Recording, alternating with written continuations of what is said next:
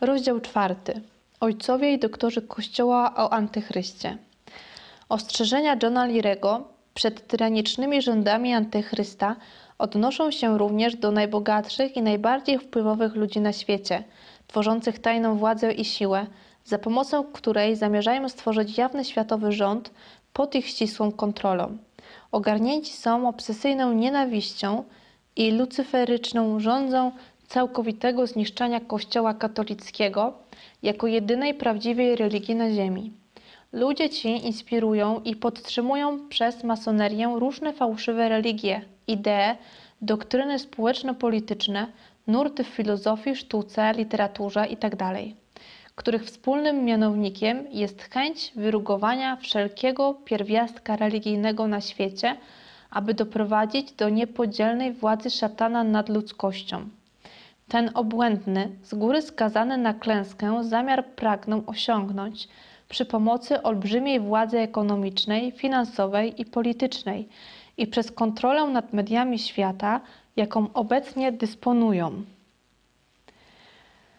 Przypis 59. Znakomicie ten problem naświetlają książki Paula Fischera Szatan jest ich Bogiem, Williama Stira Nowy porządek świata, Odwieczny plan tajnych towarzystw. Wydawnictwo Wers, Poznań, 1995 rok. Denisa Facheja. Chrześcijaństwo a zorganizowany naturalizm mas masońsko-żydowski.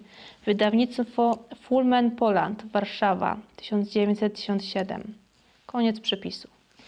Największym sojusznikiem tych podstępnych działań jest ludzka zawiniona ślepota umożliwiająca deptanie Bożych przekazań.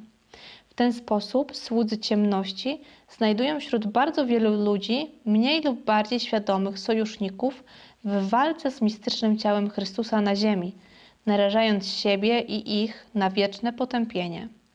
Po wielkim oczyszczeniu skończy się na jakiś czas dominacja zła na ziemi, zapanuje Boży pokój. Przepis 60. Tak zwana cywilizacja miłości – Spełni się w ten sposób pragnienie ostatnich papieży. Po, po kilkudziesięciu latach pokoju ludzie zapomną o strasznych karach, ponownie powrócą do dawnych grzechów, nawet jeszcze gorszych. Koniec przepisu. A Kościół, który przeżyje największy rozkwit w całej swojej historii, pod przewodnictwem ostatniego lub jednego z ostatnich papieża, doprowadzi ludzkość do najwyższego w dziejach poziomu duchowo-cywilizacyjnego. Jak już pisaliśmy, na czele rządu światowego stanie antychryst, człowiek zatracenia, syn ciemności, który podstępem i przemocą zapanuje nad światem i zechce zająć miejsce należne Bogu. Ci, którzy do końca dochowają wierności Chrystusowi, wezmą udział w Jego chwalebnym zmartwychwstaniu. Autorem publikowanego przez nas opracowania o tym ostatnim wysłanniku piekła – i największym ziemskim tyranie jest sługa Boży, ksiądz Bronisław Markiewicz. Oparł je na przetłumaczonych przez siebie na przetłumaczonym przez siebie dziele wielkiego świętego i doktora ko Kościoła Alfonsa Liguoriego Dissertazioni Teologico Morali Przypis 61. Fragmenty tego opracowania zostały zamieszczone w czerwcu 1906 roku w piśmie Ojców Michalitów, powściągliwość i praca. Koniec przypisu.